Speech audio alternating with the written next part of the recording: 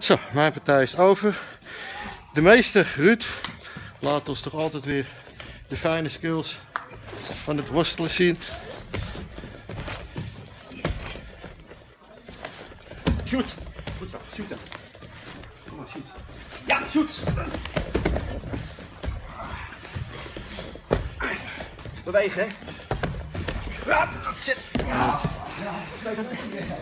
En het lijkt allemaal heel fel, dat is het ook wel. Maar de jongens weten wat ze doen, krijgen ook goede aanwijzingen. En u hoort het, touché betekent eigenlijk op de rug dat je zo'n partij bijvoorbeeld al verloren hebt. Wat niet uit mag maken natuurlijk.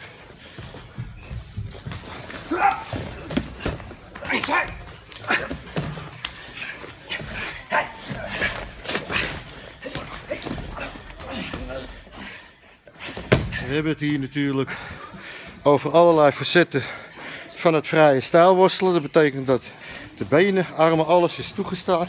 Naar te shooten.